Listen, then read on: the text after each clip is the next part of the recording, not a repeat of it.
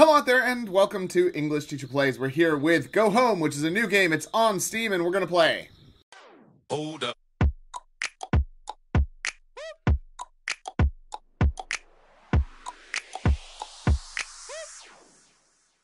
So right off the bat, they're using a loop of uh, like crickets or whatever in the background that has someone actually touching the microphone. I'll be quiet for a second so you can hear it.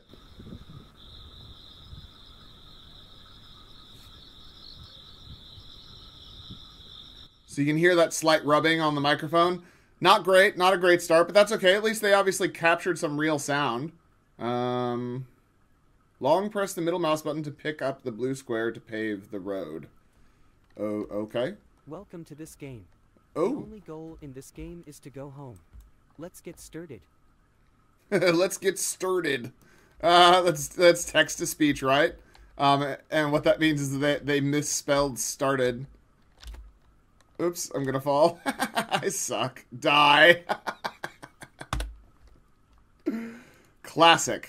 Um, Welcome to this I was gonna say it every time. goal in this game Man, this is is gonna be a long game if I if I have to listen to him say, "Let's get started."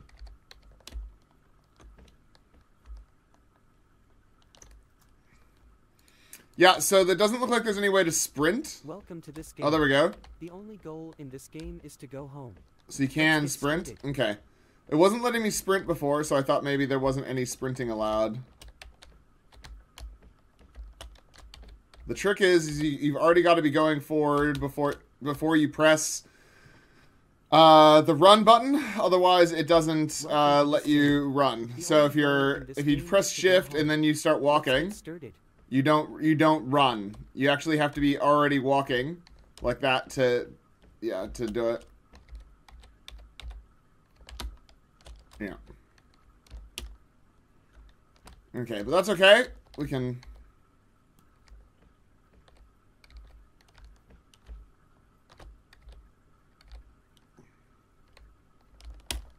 Nope, I fell off. Wow, this is uh, not fun, but that's okay. That's so, that's okay. We're gonna we're gonna play it. The only goal in And um, game is to go what I might do is fast forward till we get to uh, something interesting. Can I can I take it from there? Oh no, it just resets. Okay. I was I was hoping that maybe I could take it and use it at the next uh, spot, but that's apparently not how this works.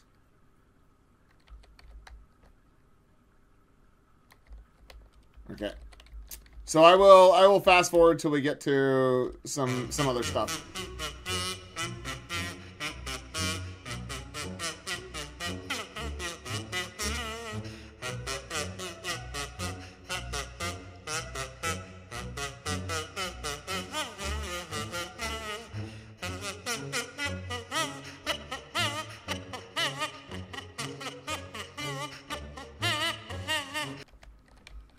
Okay, so the last time I jumped on this thing, uh, it kicked me off for no good reason. So we're gonna try the other side, I guess.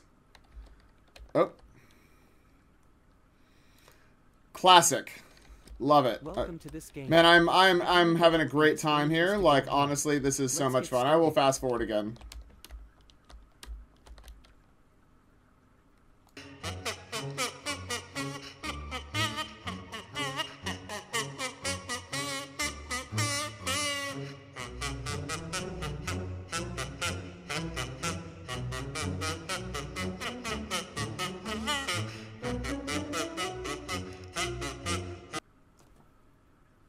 Okay, so I landed on that thing and then it glitched me off of it. That's fantastic. The only goal in this Uh, nothing like a game that we're you know that is stupid and hard, and then uh, also just glitches you off of things that you've successfully landed on. Absolutely stunning. Love it. Uh, Eleven out of ten. No notes.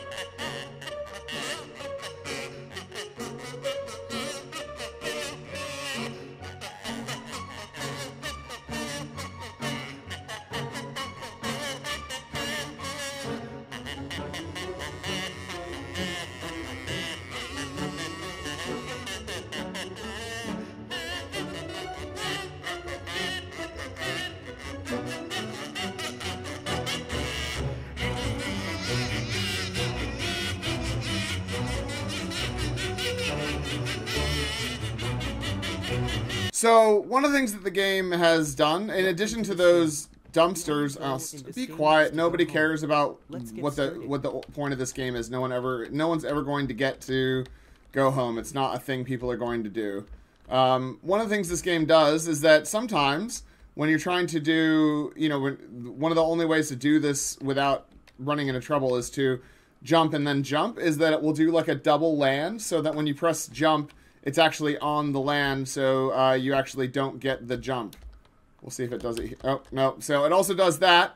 Um, you don't get to grab on or anything. It's Welcome just uh, you either need to goal in this clearly game is to grab it or clearly Let's get sturdy. land on top of it, um, or you miss, you fall, which is fine, except for that you actually the the height that that has to be at in order for you to not um, fall off the next one is has to be just right. 'cause if it's too low, you don't. There's not enough room for you to get there.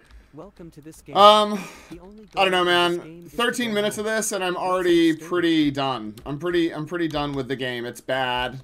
Um, this is not, this is not a fun activity. I'm not enjoying uh, myself.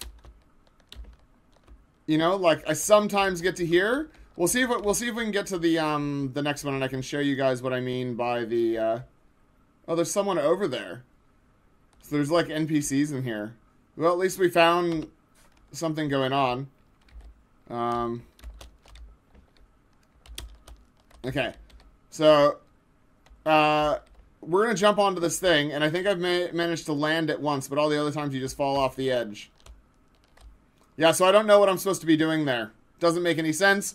And I'm done because I'm not going to keep bashing my head against the wall when the thing that I'm supposed to land on just knocks me off anyway. So let's go look at the description and see what the game has to say for itself. Alright, go home. No matter how far you go, never forget the direction home. In this game, your only objective is to go home. Yeah, except for that it's bad. Um, I, I think I might have figured out what was going on with the, the sprint. I think it's actually on a toggle, um, which sometimes these games do that, which means that uh, you already have to be running so that you can toggle it on because it won't stay toggled on. Um, so the the way they've coded it is that, yeah, no, that just see. I'm watching them play, and they're playing on further things like things after this. Um, except for they seem to have no problem running, um, and it just it's just not very interesting, man. Like, who cares? It's really boring. Like, what is he? He's hiding, and so there's a guy chasing him. So you get killed by that guy for the you know the first time, and then you have to go back and do all of the things that you've just done again. And you're just jumping on identical assets over and over and over over a big empty sky. There just doesn't seem to be. It feels.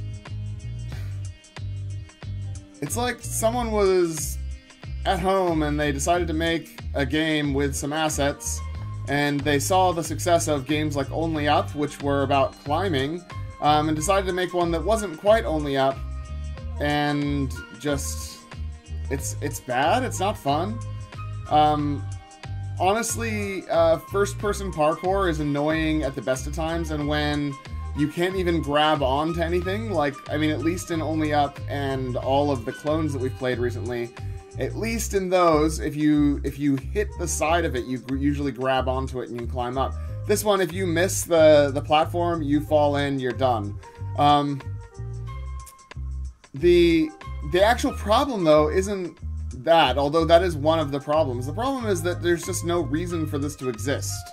Um, no one was clamoring for this type of gameplay. No one cares about this. No one is going to want to challenge themselves to this game. There is just isn't anything here to care about.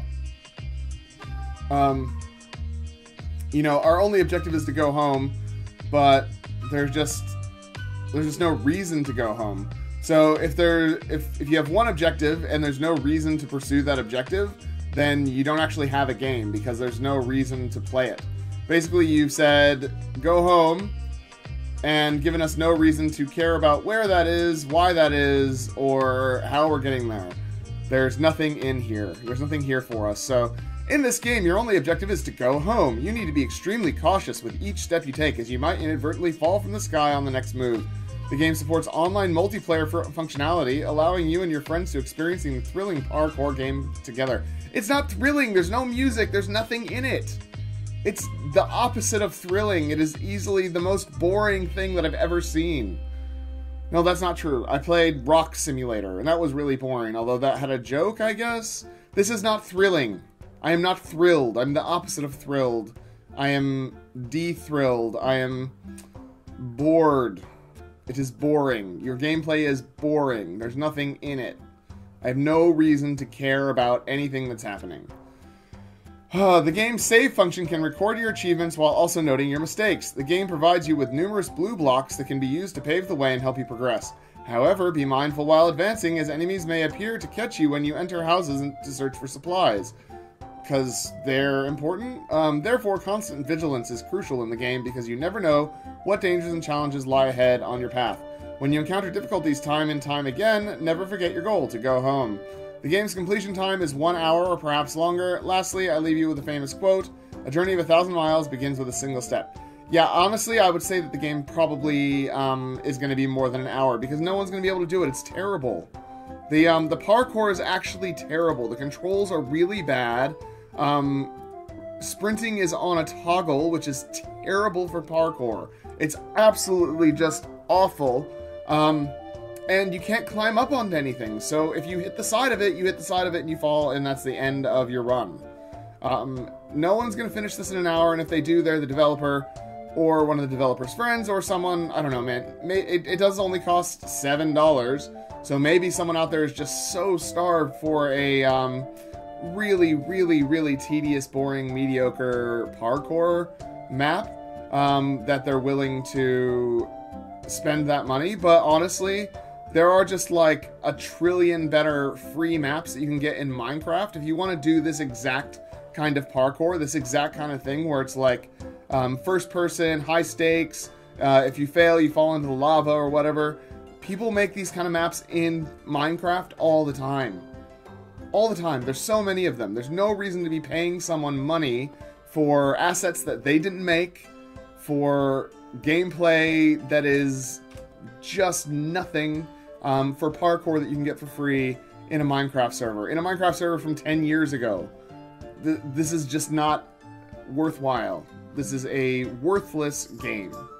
Um, it it's not even copying the Only Up formula, so it, it doesn't even fall into that genre like uh, the other clones that we've been playing. Um, the only sort of unique thing is you can place a block in the middle, and so you get to pick your platform, which is just. It's not anything. In fact, it's just another fail condition. So, what you've done is you've created a situation where the player is going to fail over and over um, because uh, you haven't actually made a parkour map. You've made a parkour map with the ability for the player to edit it, which means that they can edit it for their own failure. I don't know, man. I don't know why this exists. I don't know why people keep releasing stuff like this and expecting people to uh, jump on it, like literally, and play it and enjoy it. It's just bad. Nobody cares about your asset filled garbage that you want people to jump on. Not interesting. So I'm going to leave it there. That's all I've got to say. Hopefully, you guys enjoyed the video. That's Go Home. And uh, if you want to check it out, you can click on the link in the description. Otherwise, leave me a comment down below, subscribe to the channel, like the video, all that kind of stuff, and I'll see you next time. Class dismissed.